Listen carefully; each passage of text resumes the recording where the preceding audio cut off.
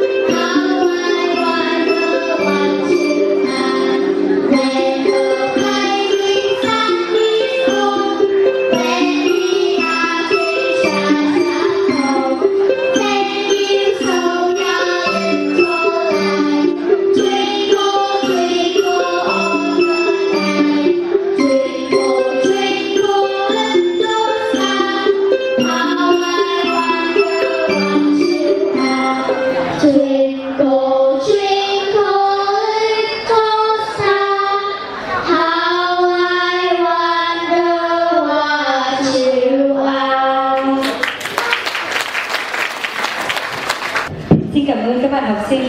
Xin mời quý vị đại biểu, quý thầy cô